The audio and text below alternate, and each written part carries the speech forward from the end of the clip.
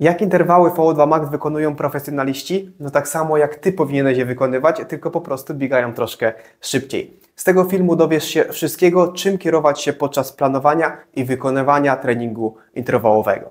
Zobacz krótki spis treści, o czym będę dzisiaj mówił. Zaczniemy od nazewnictwa, bo mam wrażenie, że panuje w tym temacie spory bałagan. Następnie przejdziemy przez odczucia na treningu i zestawimy to z tętnem i tempem, jakie powinieneś celować. Pokażę Ci również zakresy z badań wydolnościowych odpowiednie dla tej intensywności treningowej. Na koniec rzeczy najbardziej praktyczne, czyli najczęstsze błędy oraz przykłady treningów. Także oglądaj do końca.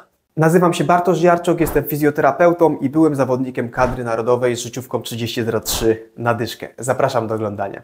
Jeśli chodzi o to, jak biegacze i trenerzy nazywają ten rodzaj treningu, to mamy tutaj dość dużą rozbieżność prowadzącą często do nieporozumień. Ja bardzo lubię szkołę Jacka Danielsa, która mówi w tym przypadku o interwałach VO2 max. Nazwa ta jest bardzo adekwatna, bo odnosi się ona bezpośrednio do intensywności, w którą celujemy podczas tego treningu. Sama nazwa interwały to de facto określenie treningu, w którym praca podzielona jest na okresy, po których zaplanowana jest przerwa.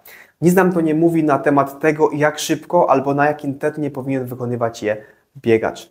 Bo umówmy się, jest różnica w subiektywnym tempie dla treningu sprinterskiego 6 razy 40 metrów na maksa, a wspomnianym w poprzednim filmie treningu progowym długasa, czyli przykładowo 6 razy 5 minut w progu. Podobnie z nazwą, którą dość często słyszałem od polskich trenerów, czyli interwały tempowe.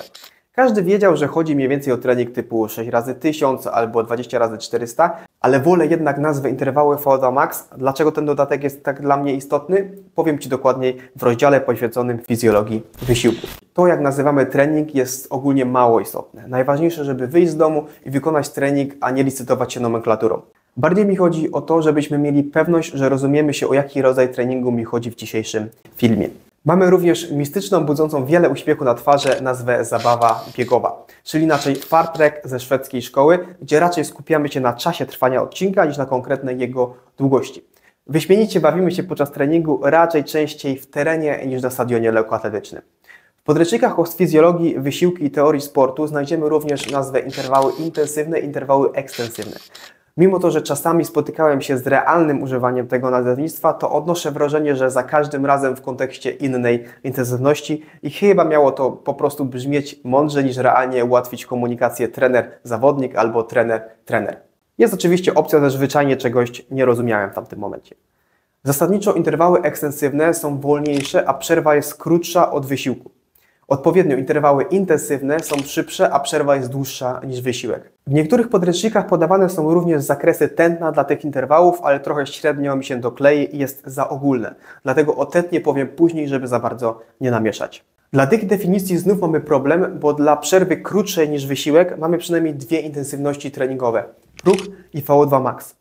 Za to dla interwałów intensywnych dospasujemy całą gamę treningów glikolitycznych czy nieglikolitycznych, zaczynając od treningów rytmowych długasów, przez wytrzymałość szybkościową, a na samej szybkości kończąc. Dla mnie interwały VO2 max powinny cechować się stosunkiem pracy do przerwy 1 do 75 setnych a maksymalna objętość według Jacka Danielsa powinna wynosić 8% tygodniowego kilometrażu. Oczywiście to dla zawodników biegających codziennie. Jeśli biegasz 3-4 razy w tygodniu, to ten wzór nie będzie miał kompletnie zastosowania. Czas pracy jednego odcinka oscyluje zazwyczaj w zakresie między 1 a 5 minut, gdzie 5 minut w intensywności VO2 max to naprawdę kawał roboty do wykonania, przeznaczony raczej dla koni wyścigowych niż kucyków deptających dla zabawy.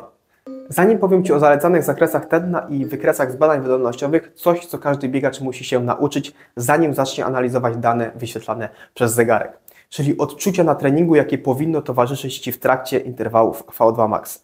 Założenie jest proste. Biegnę w zakresie V2 max, czyli maksymalnej konsumpcji tlenu.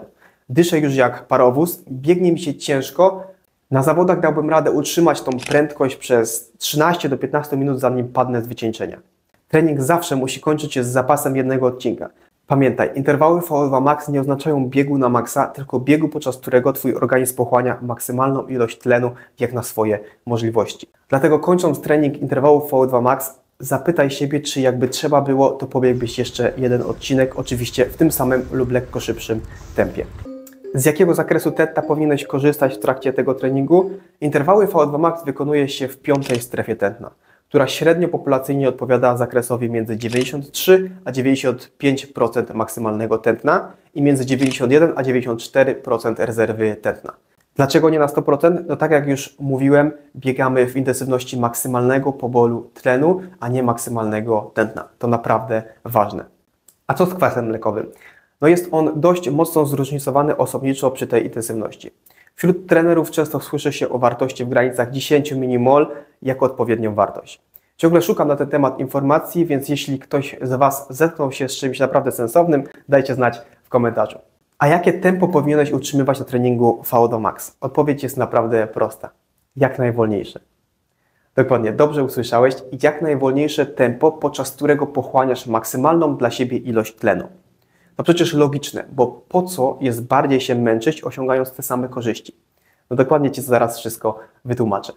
Ale jeśli nie masz głowy do układania sobie planu treningowego albo szukasz motywacji do treningu w formie jakiegoś bata nad głową, to ja rozpisuję plany biegowe online. Zobacz link w opisie. Zapraszam do kontaktu. Zobacz teraz na moją ulubioną część rozważań nad intensywnościami treningowymi, czyli wykresy z badań wydolnościowych, bo mówią one naprawdę sporo na temat tego, jak wykonywać poprawnie ten trening oraz jak łatwo można go spieprzyć. Ale o tym później. Najpierw wykres, nazwijmy to zawodnika, czyli mój z lat świetności.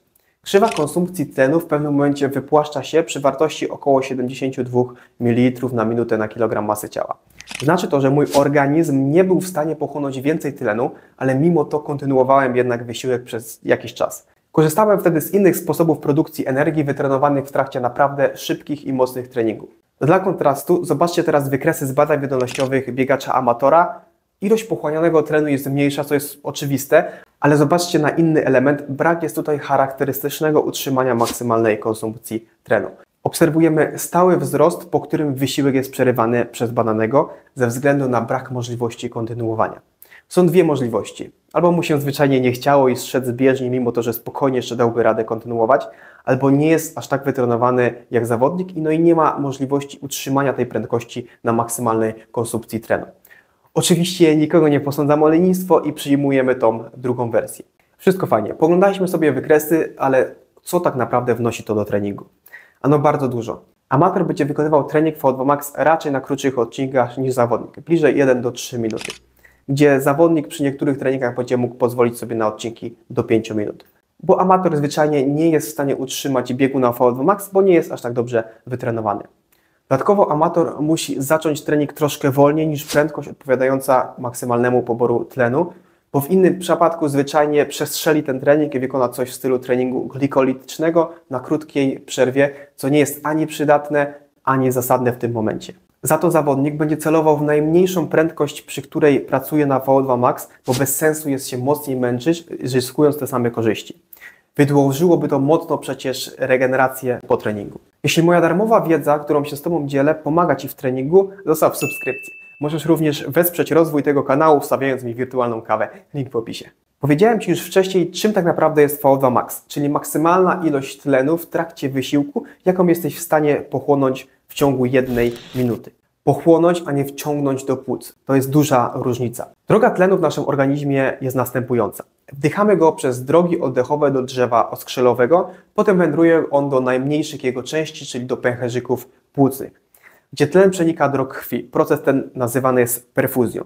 To, co nie zdąży przeniknąć, jest wydychane z powrotem w powietrze tą samą drogą. Następnie wraz z krwią tlen ten wędruje do pracujących mięśni, gdzie uczestniczy w spalaniu glukozy, produkując energię. Ile tego tlenu przyswoimy jest zależne od kilku rzeczy, m.in. od wielkości powierzchni, na której zachodzi wymiana i sprawności tego procesu przenikania, zarówno pęcherzykach pustych, jak i w mięśniach. Trening interwału VO2 max wpływa na usprawnienie tego procesu. Dzięki regularnej pracy w zakresie maksymalnego poboru tlenu zachodzi adaptacja i zwiększenie ilości tego tlenu, który może dotrzeć do mięśni i który nasz organizm jest w stanie pobrać w trakcie wysiłku. Naprawdę znacząco wpływa to na Twoje możliwości na zawodach. Na podstawie przedstawionej fizjologii wysiłku łatwo jest teraz pokazać Ci, jak bez sensu są niektóre błędy popełniane przez biegaczy planujących tego typu trening. Pierwszy przypadek, chyba najczęstszy, weźmy na tapetę przykład treningu 8 razy 2 minuty w tempie interwału VO2 max na 1,5 minutowej przerwie. Biegacz amator o imieniu Zbyszek obliczył, że aby trzymać się wyznaczonej intensywności powinien pobiegać on ten trening w tempie około 3,20 na kilometr. Zrobił rozgrzewkę i pierwszy odcinek pobiegł w tempie 3.08, no przecież się łatwo biegło, pierwszy odcinek. No i właśnie skończył się dobry trening VO2 Max tego zawodnika. Wyszedł on poza zalecaną intensywność w zakresy mocniej beztlenowe. Niestety do końca treningu będzie ciężko mu wrócić w okolice V2 Max, mimo iż kolejne odcinki pobiega blisko założeń. Odpoczynek naprawdę nie będzie wtedy już adekwatny. Drugi przykład wygląda w ten sposób, że zawodnik o imieniu Marek zaczął lekko wolniej niż założenia po powiedzmy 3,30. Potem większość treningu trzymał się na prędkościach około 3,20 na kilometr. No i tu dobra praktyka się kończy z racji tego, że biegało mu się naprawdę wyśmienicie. Dlatego ostatnie dwa odcinki dowalił na maksa.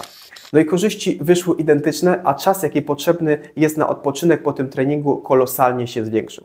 Co ciekawe, za 5 dni zaplanował sobie start, podczas którego prawdopodobnie nic dobrego nie wyjdzie. Oj, naprawdę bardzo, bardzo częsty błąd. Trzeci przykład, mój ulubiony, czyli biegacz amator imieniu Leszek, zobaczył, że topowy polski zawodnik wykonał dzisiaj trening 8 razy kilometr na 2,5 minutowej przerwie. Zawodnik ten biegał powiedzmy tysiączki po 2,50 na kilometr. No Leszek niestety nie da rady tak szybko biegać, bo jego prędkość na VO2 max to około 4 minuty na kilometr, no i w tej tempie biegał te tysiące. No i finał jest taki, że zawodowiec zrobił niecałe 23 minuty w założonym tempie, a Leszek, amator, zrobił 32 minuty. No i na pewno nie był to trening VO2 Max, raczej coś w stylu szyb, za szybkiego progu na nie do końca adekwatnej, za długiej przerwie. No to jakie treningi będą odpowiednie dla Ciebie? Już podaję kilka przykładów, oczywiście sugerując Cię czasem wysiłku, a nie dystansem. Wiesz dlaczego po ostatnim przykładzie. Zacznijmy od klasyka, czyli 16 do 20 razy minuta na 45 sekund przerwy. Albo inaczej, wspomniany już trening 8 razy 2 minuty na 1,5 minuty przerwy.